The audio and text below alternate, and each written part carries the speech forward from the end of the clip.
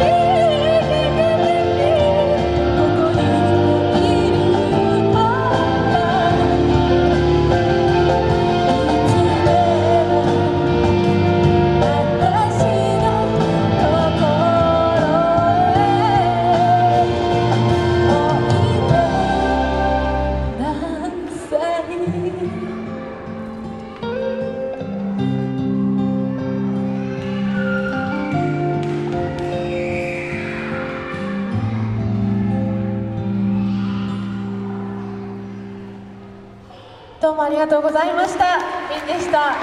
今日は町田ミュージックパーク最後までご覧いただきありがとうございました。